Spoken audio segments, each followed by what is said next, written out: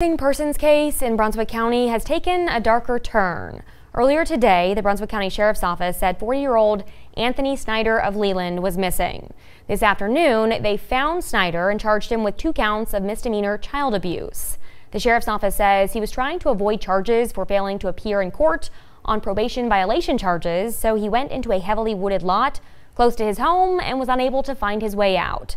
After a short search, deputies found him in a densely wooded area.